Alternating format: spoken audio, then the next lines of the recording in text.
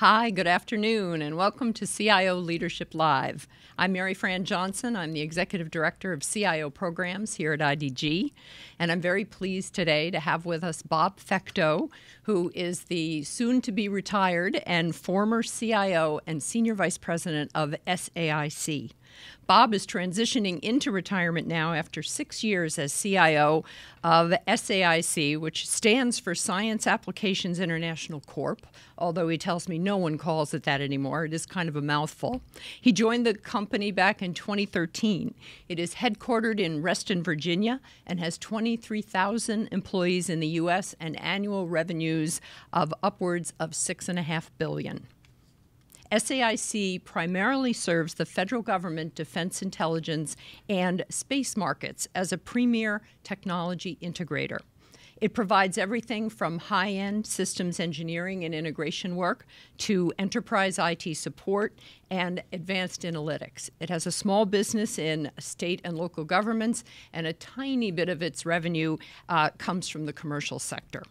During his tenure as CIO at SAIC, Bob rebuilt the IT organization, renovated key business systems and applications, and integrated an acquired company. And probably the piece that he did that mattered the most to his CEO and his CFO is that every year for the last six years, he provided approximately $40 million in additional savings and cost reductions. As Bob likes to say, he turned the IT organization from the Department of No into the Department of How. Before he joined SAIC, Bob spent seven years as the CIO of BAE Systems Intelligence and Security Group.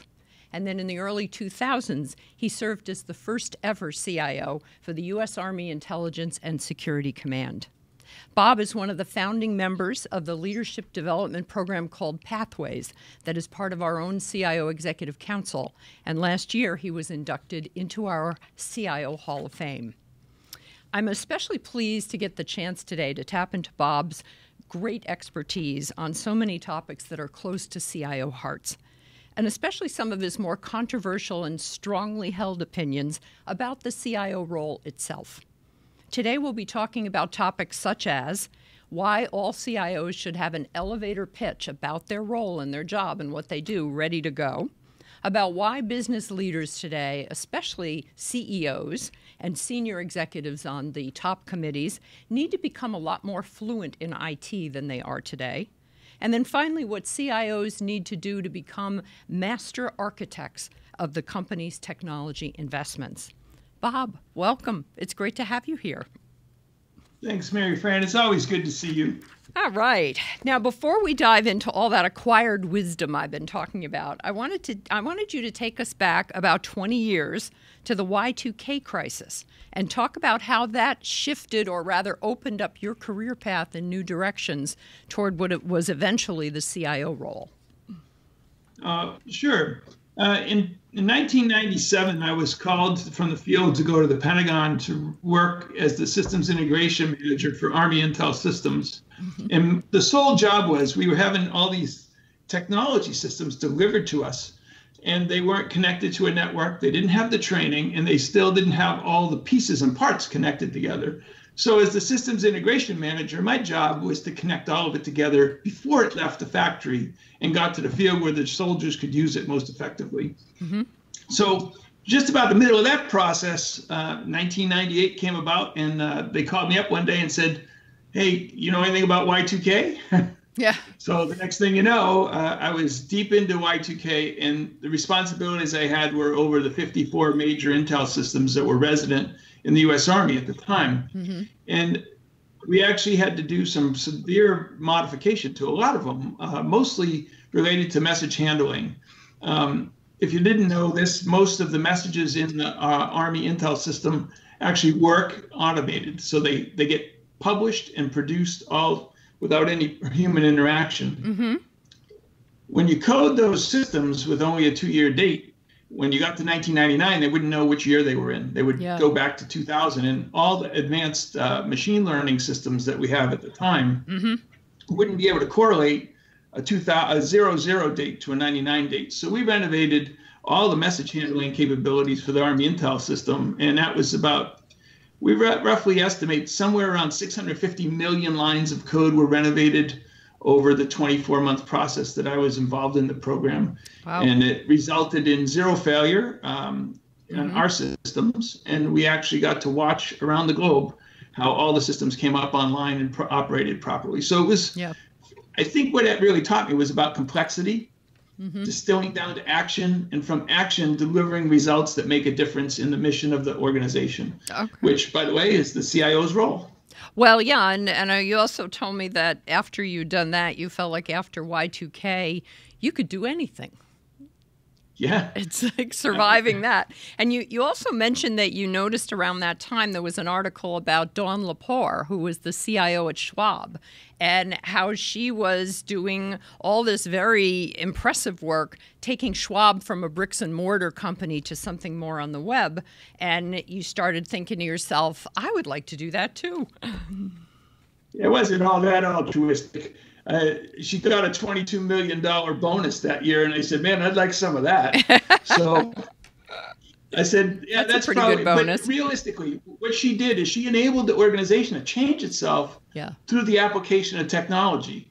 And I found out that that's something that I have a skill at. I, mm-hmm. I can tie people to the technology and make a difference in how they work every day. So that, to me, is really what being the CIO is all about. Okay, excellent. Well, we're going to talk a little bit more about that. So I will fast forward you back to today and we'll start getting some of your perspectives on the CIO role.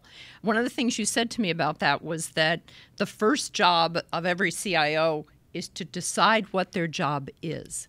And that a lot of the CIOs you talk to often don't have that very terse and well assembled elevator pitch. Why is that so important? And what is your elevator pitch? Well, let's talk about why it's important 1st mm-hmm. um, the reason it's important is because one of the problems that the business has with CIOs is they always say that we speak too technically.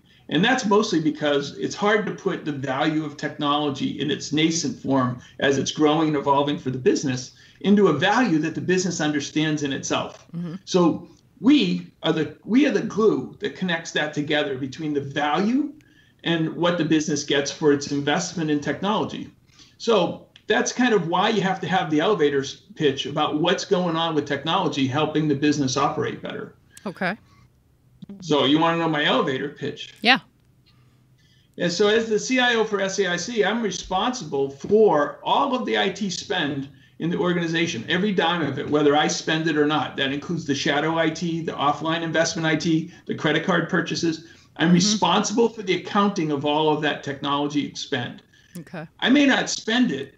And in many cases, there are some type places that I don't know what's going on, but I'm still responsible as the chief information officer to understand what that expenditure rate is so that we accurately predict what the investment portfolio has to be to maintain and sustain a viable intel uh, viable uh, technology base to keep the company running. Okay. Now, in the six years that you were at SAIC as the CIO, how long did it take you to get essentially to get honed in on that mission, uh, on that particular elevator pitch, and that and keeping track of all of the spending in the company for technology. Well, I think I think the first two years were really storming and norming as we split the company from its legacy mm-hmm. ownership into two separate companies. Um, I, would say within 18 months, we had the idea that accounting all the assets and accounting for all the costs was the was job one. Yeah. It, it, was certainly during the split that we had to figure out how much we needed because during the split, the estimates of the amount of money that they gave us to split the company were inadequate to run the business the way it needed to run in the future state. Mm-hmm. So the financial underpinnings for this have grown, gone back way back to Y2K, understanding how much it took to run the Army's uh, Intel systems. And then when I went to BAE Systems, I got a chance to test and fail a couple of concepts there. Mm-hmm. All of them eventually surround this concept of financial acumen. And they're all driven by a need to be relevant in the business financially. If I can't maintain a budget, if I can't accurately predict the cost, if I mm-hmm. underrun or overrun my plan, I affect the business. They either don't spend money they should be spending, or they spend too much money they didn't want to spend on technology. And I cause them to be reactive as opposed to predictive. Yeah. And that's the job of the CIO is to be predictive about where we're going with technology. Mm-hmm. Well, and it's and as we know, it's a very difficult job because technology changes so quickly, especially today. I know at one of our past events, you gave a talk about the importance of asset management and how you run into far too many chief uh, information officers that don't have a great grip on all the stuff that they have. Maybe and now nowadays it'd be everything in their network plus all of their um, cloud operations. Sure. So asset management to me is a you know, first of all, you have to understand my background. I'm an Intel specialist by training. Mm-hmm. And one of the things that we do in the Intel world is order things up in an order of battle kind of function when we count the enemy trucks and vehicles and people. Well, when you're trying to fund something, if you don't know exactly how many pieces you have to fund, mm-hmm. it's really hard to put a predictable number down on the table yeah. and then understand whether you got the right number. So if you look in most of the IT organizations, they don't really understand how many systems are supposed to be there this com- this complexity in asset management is very critical for the future. Mm-hmm. It's been important now to get in the right money to put the right technology to help the business grow. But tomorrow it's going to be really important because that system's not supposed to be on the network. If you don't know what you got and you don't know which systems have to be on the network and which ones shouldn't, the cyber mission explodes exponentially in complexity when you don't do it right. Okay. And asset management is the cornerstone foundation for all of this in the beginning of the CIO cycle, we were hearing about you have the as is and the to be and the future state. Mm-hmm. Well, if you don't know what you got, you have no idea where you're going, right. in my impression. And, uh-huh. and, my belief is the more accurate you are with the uh, systems that you know, when someone says, I want something else to do and I want it to do something different, your ability to predict the cost and the investment it's going to take to achieve those results exponent is exponentially better because you you've done a good job at the blocking and tackling of the core mission of asset management for the CIO. Okay. And of course asset management is not it's not new programs and new software. There have been capabilities around for this for probably the last 15 to 20 years. Oh, well more than that. Even more than that. If you think back mm-hmm. to the technology we started with we started with uh, HP OpenView for the network side. Mm-hmm. You used Systems Management Server from Microsoft for the Microsoft side. You used uh, a whole bunch of OpNet to track the network stuff. Mm-hmm. And and eventually, and truthfully, the data is there. It just takes a master architect to seam it together to make value out of information. Yeah. Which, by the way, is the very digital journey that all businesses are on anyway. Yeah. Yeah. So the IT department has to go in the same direction as as the business does. Okay. Well, and in some cases, they also need to lead the business and where it's going these days. I think we talk That's a lot true. about that strategically. Um, I like that you mentioned uh, master architect because that gives me a great segue to my next question about your conviction that CIOs need to be the master architect of the tech investment for the whole company. Because as you pointed out, after HR, it's the biggest investment the company makes. But so many companies still seem to see the chief financial officer as the master architect of investment decisions. So, uh, talk a little bit about that. What can CIOs, what the, should they be doing to shift that perception? Yeah, that's a, that's a really tough. In some companies, that's a tough mission. Yeah. Uh, the reality is, is that um, if you let the CFO dictate which technologies you're going to employ to better the business, then I question whether you're in the right job. Mm-hmm. Uh, it's the CIO's job, the chief information officer's job, to figure out the direction that the business needs to go with the technology it needs to be successful. It's not the CFO's job. It's not the CHRO's job. It's not even the CTO's job. It's the CIO's responsibility to paint the picture of the art of the possible and manage the investment portfolio necessary to achieve that picture in a way that benefits a business every single day. Anything short of that, and I, I subject, I would surmise that you're probably not a full vetted CIO. Okay. That's how I see it. Okay. We uh, we got a question from some of our live watchers on Twitter, and we're delighted to have it. Uh, the question is, what platforms or technologies did you use to give those predictions? And I believe we were talking about asset management. So it was around. Okay, so asset management is, a bunch of systems. So you actually connect your HP OpenView, your Cisco Works, and your uh, Microsoft System Center together there, for instance, System Center has 644 data elements that come out of it per system. Mm-hmm. If you can't do something with that data authoritatively, then you know you're probably not in the right job technically. But okay. uh, you take that information, you synthesize it together to a business outcome, right? So that's what my job is. Yeah. So I, I, gathered all the HP OpenView, I gathered all the IP ports, I gathered all that stuff and put it into an integrated database and did query structures across it. I, I didn't take outputs from all those. I mapped them all together into one integrated view. Mm-hmm. And then we used, uh, you know, uh, Oracle BI Suite to actually connect the data together. And now we're using uh, MS Dynamics to actually give us some a little bit of BI insight into when things are working and the way they work. So we'll get the timing down, when that system should be online, when it should be offline, mm-hmm. and is there something coming in on its address that it shouldn't be at, at a certain point in time. Yeah. We also map and measure all the interfaces for all the systems. So we know which system should be talking to which uh, end systems at what time. And if something anomalous comes out, our security center actually alerts on those kind of things. Okay. That's what I mean by linking it all together. Mm-hmm. And today we take that output and we put it into a platform called Apptio. Apptio is a software that um, delivers an integrated solution for technology business management yeah. which is the CIO's job, is technology business management of the information resource elements of the enterprise. That's mm-hmm. my job. So by by taking the assets, connecting them into the asset management suite, the asset management database connects into uh, TBM and to ServiceNow. We know what system we're looking at, how much it's cost to run it, how many service tickets it's had over the period, and then we can tell whether it's a logical replacement. And even better, if you use BI and ML learning, you can look at the inventory you have and you can start to see lot failures on hardware that's come into the enterprise. So mm-hmm. you can start to work with your vendor, like I work with Dell. Say, look, this series of hard drives has failed faster than they should have. Mm-hmm. I'm not going to wait for all 400 of them to fail. Send me 400 hard drives and we'll replace them proactively. Dell likes that interaction. That is the way Dell wants to operate. That's okay. the way IT internal needs to operate. Mm-hmm.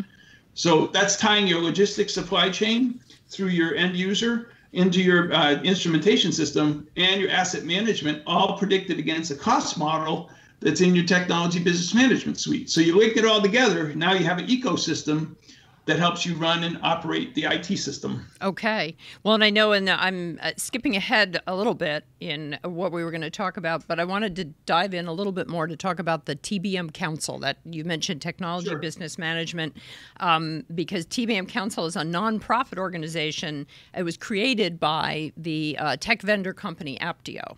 Is that correct? Correct. Yes. And it's got a lot of very forward thinking CIOs and senior IT executives who operate under this mission of essentially running IT like a business, promoting business management standards and practices to empower everyone.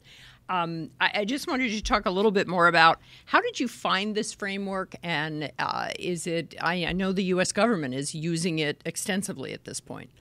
Right. So, government accounting offices mandated the use of uh, TBM architectural planning is part of the financial accounting methodology uh, for the federal government. So it's going to become a very uh, in vogue concept as we move forward. Okay. Um, I, I, you know, I've been in the CIO Executive Council for a long time. Mm-hmm. Ralph Loura was on the council with me, and I met. Uh, I was meeting with him and Rebecca Jacoby from Cisco, mm-hmm. and they mentioned the technology business management framework they were working on with the CEO from Apptio, Sunny Gupta. Sunny Gupta was putting a software application together and mm-hmm. found that they need an architecture and a framework to put this thing to work against so that we could get one of the most critical problems we have in the CIO world is consistency in practice from one place to another. Yes. So TBM provides the framework that ties together all of the things I've talked about asset management, financial accountability, service delivery, towers of management, the mm-hmm. distribution of IT across the enterprise, how it's all tied together, how it's linked together.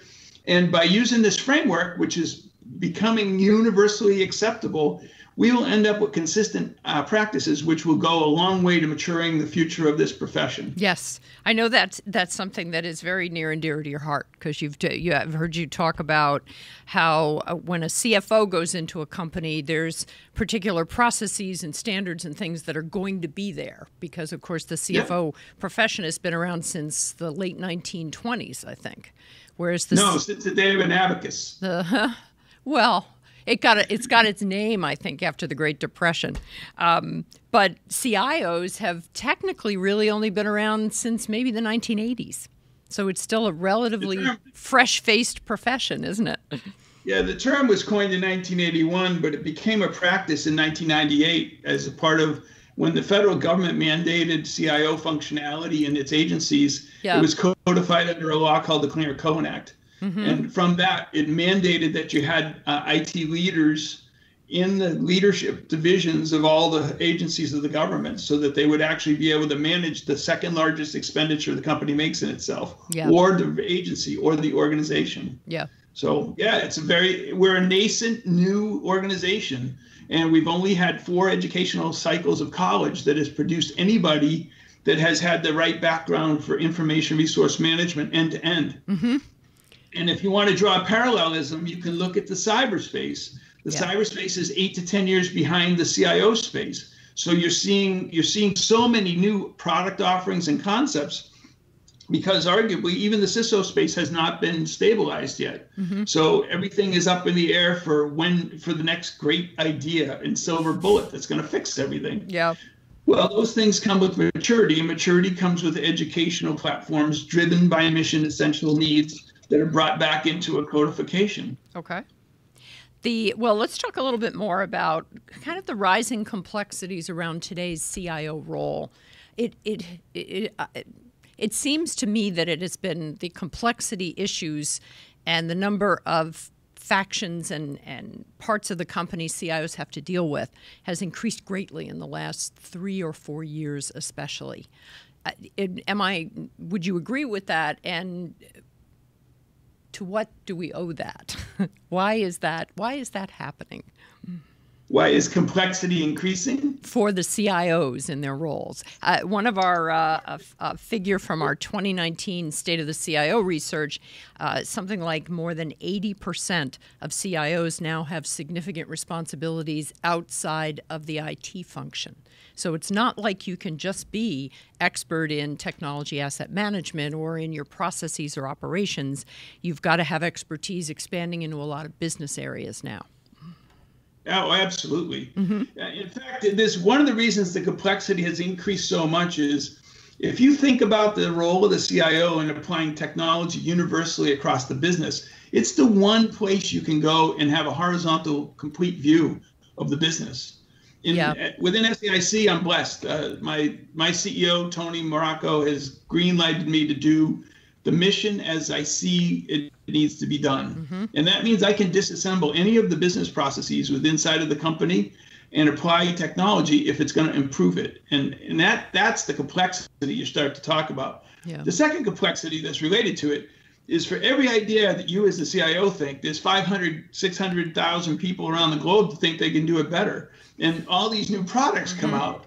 And the reality is, is that they don't always come into the space uh, with a solution that plugs right into the into the outlet. Yeah. You know, if you don't believe that's true, just look at a universal uh, UB, uh, universal um, serial bus cable, USB cable. Mm-hmm. One thing I can tell you is a USB cable is not universal. Nope. There's C, many, there's USB C and B, and yeah. Mm. Yeah, yeah, yeah. So it's a good example of how, mm-hmm. how fast the technology changes. And if that's not enough to convince you, think about how many different power supplies you have for so many different devices. Mm-hmm. That I mean, you can look in your drawer and figure out, I don't know what that cable went to. And that's because when we start talking about standards, you know, we haven't disciplined ourselves into what is a standard, you know, and how do we make that standard more universal? Yeah. So that's where complexity is coming from. Mm-hmm. And the CIO's job is to take those very complex concepts and turn them into something someone can execute and do effectively over and over again. Yeah. Because you know, doing it once is is pretty basic. Mm-hmm. Doing it 16,000 times for every change and making 16,000 people do it right that's very complex. Yeah. Well, and it's often the company culture and the way people are responding to technology that makes the CIO's job either uh, easier to do or a lot more difficult.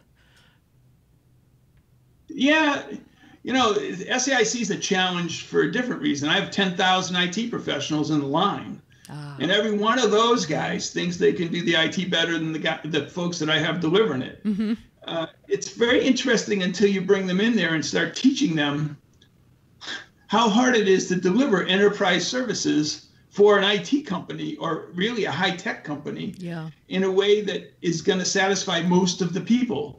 See, that's the funny thing. My job's not to satisfy all the people. Right. My job is to provide a, a foundation that allows the business to run effectively and manages the one-offs as well as it manages the center. And you know, mm-hmm. I try to balance the haves with the have-nots on a regular basis. Well, and we had a, a, when we were talking a few days ago to get ready for this interview. Uh, you had mentioned, you know, we talked about the. Uh, I think it was one of the procurement processes that you've had, you know, because if CIOs were completely guided by everything their customers want and their end user base, you could end up doing a lot of well, a lot of stupid stuff. Like you use the example of an expensive procurement item that uh, people wanted to be able to just do that on their phones.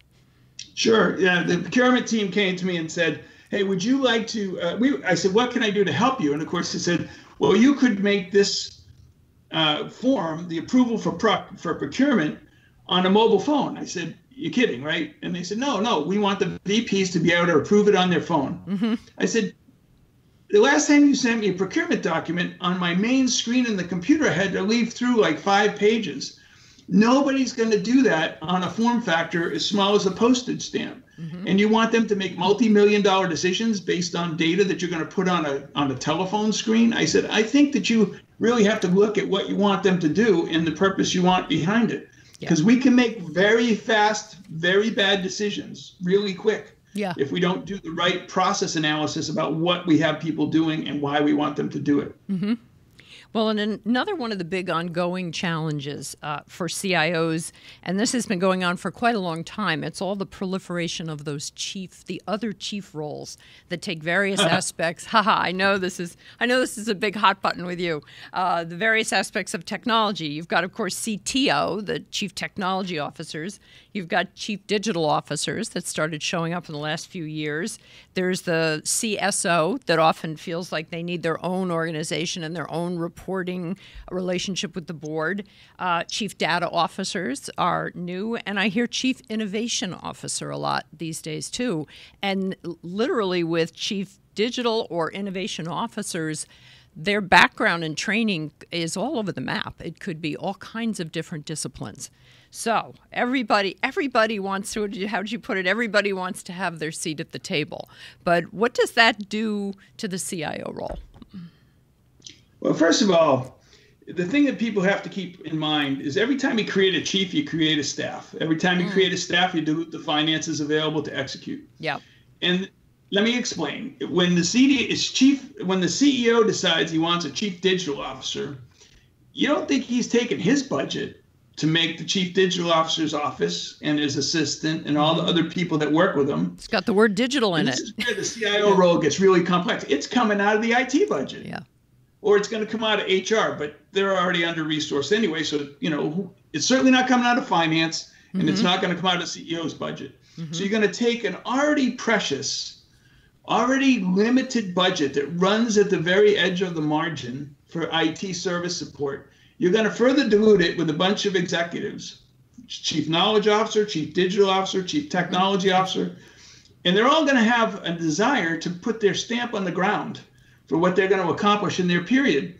And what assets do you think those guys are going to have to use when they do their thing, whatever that thing happens to be? Mm-hmm. They're going to use the IT staff, which their missions are now going to conflict with the CIO's mission, which is going to conflict with the business's mission. And when you start getting to that kind of complexity, you can't take a hundred bucks and divide it 50 ways and think it's going to be better than a hundred bucks. Mm-hmm. Just never going to work that way. So, you know, and that thing, it kind of jazzes me off. It really gets me going. but the second part that gets me going is this one. Most often, you know, I, I, think they're riding in the airplane where I ride, and they read some article in a book on the. Mm-hmm. Uh, they used to read in the mat in the on the uh, airplane, but they don't read mm-hmm. anymore. They watch video, and it says you should get a C, you know good CEOs are getting chief digital officers. Yeah, yeah. To do the very thing the CIO is supposed to do, and yet the CEO never asked them to do it. So they're going to hire a new executive to go do a role that's really the CIO's role and if your CIO can't do that role, then you should get a new CIO. Really, mm-hmm. in my picture. But but but isn't bad. But isn't isn't it also? Doesn't some of this blame have to uh, turn back on the CIO because if they're not speaking up, if they're not going to the CEO and saying, you know, having strategic conversations about uh, what's going on with digital transformation in their industry or things they're, because they're reading magazines and, you know, websites as well.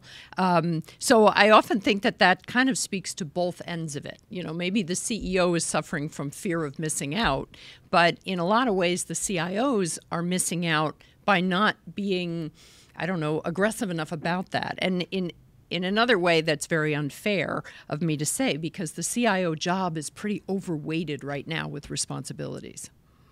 Yeah, Maryfran, I, th- I think you've hit a good point. I don't think aggressive is the right term to use. I think that the concept of partnering with the business and agreeing with the business where we need to go together on a regular basis is the responsibility of the CIO to develop the right strategy. Okay. It gets dis- it gets diffused because all too often the comp- the business wants to treat technology as a um, utility. Utility. But it's not a utility. Uh, it's much different than electricity. Mm-hmm. You know, electricity is a utility. You come in and you plug things in, it runs. You can plug whatever you want in the IT system. If you don't have some tech people behind you helping to make it work, it's not going to go very well. And then they're going to blame IT for the failure. Yeah. Uh, I'll let you in a little inside secret. You, we've heard all along that uh, technology uh, um, investments fail at about 80%. percent mm-hmm. Well, you know, I've worked with a very talented group of individuals in both BAE and SAIC. And my experience has been exactly the opposite. I can tell you this for a fact. The IT teams are well disciplined. They're highly skilled at prog- project and program management. Mm-hmm. They usually deliver the application, the solution, and the system exactly or better than on budget and on time. Mm-hmm. And when you give it to the business and tell them they have to do their part, they very seldom do that. They mm-hmm. don't do the training, they won't do the change management, and they won't make changes to the organization reflecting the way the system is designed to operate. So then we go into the customization cycle and make it try to fit the way we used to do it. Yeah. Now we're talking about where the leakages start to happen on the efficiency of technology supporting a business. Mm-hmm. And that's this is some of the root of what the problem is. The reason the CIO gets overshadowed and put in and they bring in the chief knowledge or chief digital officer mm-hmm. is most often because he's overwhelmed doing the day-to-day job the business itself can't even define. Mm-hmm. And and then we they decide they want to go in a different direction. They don't even bother to consult them. I think in order to get in the game, you got to keep your head in the game. You got to understand what's going on with the business, where they're trying to go, how they want to get there, and then bring the opportunities and, op- uh, and offers to them that they can understand and make sense out of. Mm-hmm. Why do you think? If I need a chief digital officer, I'll hire one. Yeah. Why do you think so many CIOs end up in that kind of a defensive position, though? Is it because they are two heads down and trying to get everything working and all the processing. I mean, it's a lot in the job. I, you know, when I hear, I talk with CIOs all the time, and when they start describing the kind of stuff that they have to do every day, it just sounds so damn overwhelming. Um, yeah, well, it can be overwhelming. I, I think that's why you want a seasoned professional at this level doing that kind of job. Okay they have to be able to distill out what's the most important stuff and what's not. Mm-hmm. And if you can't help your teams prioritize in those fashions, if you can't teach them to be independent thinkers, then I, it's questionable whether you got your, you're doing the right job. Mm-hmm. You know, I, frankly, I've got a talented group of people right behind me, and I'm not worried about it at all every day. Yeah. We run very, very well. Mm-hmm. Well, you have what sort of leadership development and training did you make sure to provide during your your years as CIO there at SAIC? What what do you think worked the best? Well, you know, it's a it's an it's a there's a couple things. I mentor for the CIO Pathways program. Mm-hmm. People outside, and one of my one of my uh, team members came to me and says, "You do it outside. Why don't you do it for us inside?"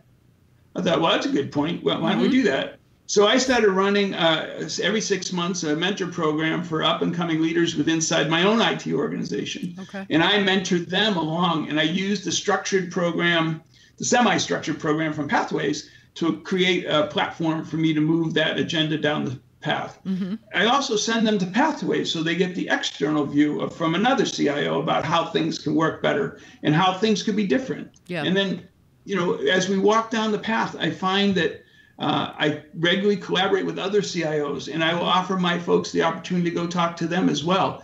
And I find the CIO community is willing to participate in that kind of exchange on a regular basis. Yeah. We technically train them, we leadership train them, we communications train them. We focus on the training that's going to make a humanistic uh, difference in the way they apply their job skills. Yeah. And from that, we've grown some, I think, some very outstanding leaders. And mm-hmm. you know, as I look to depart, I'm very happy with with what's left behind. Yeah. And where they'll go and take the organization. Will they do it the way I'm going to do it? It's unreasonable to expect that that's going to happen. Will they do it well? Mm-hmm. I have every expectation they will do it well in their light, in their picture. Yeah. And that's another point that I would say to, to other leaders that are looking at developing their crew. Mm-hmm you got to understand they're never going to be able to do it the way you do it. They can only do it the way they can do it. Yeah. And your job is to give them the best tools to do it to the best of their ability, not your ability. Mm-hmm. That's a tough thing for leaders to focus on. That's a great point. That's a great point. Do you think that the leadership and the people development kind of skills are they more important now than they might have been a few years ago? For CIOs and for VPs of IT just in general? Oh, I, I absolutely do. I think I think our inability to communicate across the, the age groups that we're mm-hmm. talking about, you know, we hear about the millennial challenge and all that stuff. I don't know how you figure out the value proposition or the value that the, that the people that are working with you place on those kind of challenges if you don't understand generationally, if you mm-hmm. can't communicate effectively, if you can't distill down to human uh, human value structures, how do you make people perform their best? See, my job is not to make you successful when you come here. That's not my job. Mm-hmm. My job is to provide you a platform for you to achieve the maximum success possible when you apply yourself. Yeah. Notice I didn't say if you don't apply yourself. Mm-hmm. If you apply yourself, my job is to give you a platform to grow yourself to the maximum of your potential and it's up to you to decide what that potential is going to be, not me to drive it out of you. Okay, fair enough. Now, uh, the I wanted to ask you next about we've been talking a lot about CIOs and their role and what they can and should be doing and developing leaders on their staff and all.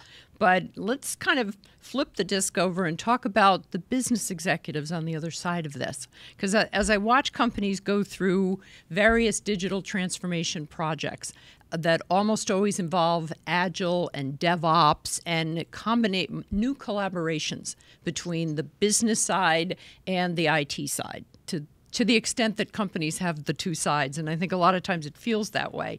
Now that they have to work more closely together, but what should business executives be doing? One of one of your uh, observations is that CEOs today, and especially up and coming business executives, need to stop claiming that, oh, I, I'm not a technologist, I'm not going to get into that, that they need to actually become more fluent in IT. And for years, we've been saying that, well, it's the CIOs and the IT people that have to, they have to go three fourths of the way over that bridge between IT and the business. And you're saying it's time for the business people to like kind of start bellying up to the bar on this. So, uh, talk a little bit more about that, about where that where that conviction of yours comes from, and then how exactly yeah. business executives could do that, assuming that they agree with you that they need to be more fluent in technology. So, you know, it's funny that you mentioned that, but I'm actually a liberal arts major as an undergrad. I'm a criminal justice major. Oh, and, well. All right. And I'm an Intel analyst, yeah. right? So I'm an intelligence analyst. In 1985, we automated the Intel branch. And I got a choice. I could sit there and tell people to do the IT thing, mm-hmm. or I could learn how the IT thing does it. and then maybe I can make a difference in the way those people grow and operate in the future. Well, it worked. Yeah. I'm a CIO today because of that drive. Mm-hmm. Because I'm I, I was technically proficient in the in the automated message management, in mm-hmm. the automated systems that ran Intel. So if you don't take a professional interest in the technology that drives your business, and you're going to let a CIO tell you which technology is going to do it, then you're not you yourself as the executive leader, the CEO, is not partnering with the technologist to deliver the best results for the business. Mm-hmm. You are disabling the collaboration that's critical to manage the second largest capital investment in your own company. It's not enough to say you don't have technology skills anymore. Right. Not a single millennial cares that you think you know cares about mm-hmm. that stuff. Their stuff, their native skills are as good as our best skills. Well, that's kind of freaky. So we we have to up our game because if we, if you're running the show and you're you're engaging people to make value out of things, then you better know how they're doing it in the technology. Now, I don't think you need to run the box, but it's pretty right. bad when I run the I know how to run the CFO's system better than the CFO does, and I'm the CIO, and I got all the systems, mm-hmm. but I know more about his tech than he'll ever know. And is that appropriate? Well, probably, but mm-hmm. you mm. should at least have a, some desire to understand how that system works when the ADP payroll has a hiccup in it, yeah. and understand that you've seen this before, so you don't have to panic about it. That's mm-hmm. not how it works. When that ADP payroll doesn't run, you can bet panic is right around the corner because people aren't going to get paid it's you can't always look to the IT guy. You got to have technical skills within each staff, each function, mm-hmm. and at all levels of the organization, from top to bottom. Hmm. You know, in the military, we had a saying: you have to be technically and tactically proficient. Yeah. That doesn't happen by accident. It takes by it happens by an investment of time, energy, and you know you got to continually educate yourself on the capabilities of what you're trying to deliver. You have to help the CEOs, the COOs, the CFOs, they have to help the CIO be most effective. Mm-hmm. You can't throw the bu- the money bucket over the back of the boat and say, "Hey, go figure out what to do with this," and expect great results. Yeah. So well, we make great results happen most of the time, but mm-hmm. it's not it's not it's not a, a balanced uh, playing field. No, and it, it does seem like the kind of the teeter totter between the IT and technology and CIO skills and the rest of the business is getting certainly more heavily weighted toward businesses relying on their technology. But when I I'm, I'm thinking about a business executive listening to this and wondering, okay, well, uh, you know, Bob might be right. I, I really should increase my technology and technical skills. What do I do? I mean, what what are some basic recommendations you would make? Well, the first thing I would do if I was if I was an exec wanting to find out, I'd want to get learning about. I want to learn a lot more about this technology business management suite, mm-hmm. and I actually bring that proactively to the CEO, and I say, okay. "This is how we're managing the technology. This is how it applies." And then what I do is I hold technical showcases for them to attend whenever they do an executive visit. Mm-hmm. Whenever any executive visit visits the IT organization in SAIC, we put on a show on technology making the business better and how we do it with the people who actually do the work. So they know that it's not a um, it's not it's not the 200 guys down the road writing code that make your difference. It's this guy guiding those 200 people based on what you've asked them to do to get to a result you've tried to achieve. That's where it comes to be important. Um, it's really not uh, you can't just say, hey, the IT guys will fix it. A good mm-hmm. example is, you know, we have security inspections, right? Now the IT department isn't really the top, you know, top of security guys in the business. They're they're they run in a security parameter that the business allows it to run in. But when something breaks, security invest uh, security inspection isn't satisfactory. It's related to anything with a computer in it. The tech guy, the IT guys are right there with them. I think this is a fundamental leadership issue that I really think we can almost close on, mm-hmm. and that is, it's you can't let the problem be handled by somebody else. Okay. All leaders own the problem through the whole life cycle of the problem. If the IT is not working and you call the IT department and, and you don't get the results you want, then go let's address the problem. Yeah. Don't let the thing fester and create a worse problem because there's no inaction. Mm-hmm. That's why we converted the organization from the organization of no to the organization of how. Mm-hmm. It's not, no, we can't do it. It's how can we do what you want to do and still stay within the parameters of our certifications and our guidelines. Good. That's that's a different kind of question and a different kind of solution set that you have to work through. Well, and it also ends up building a different relationship with the business people you work with.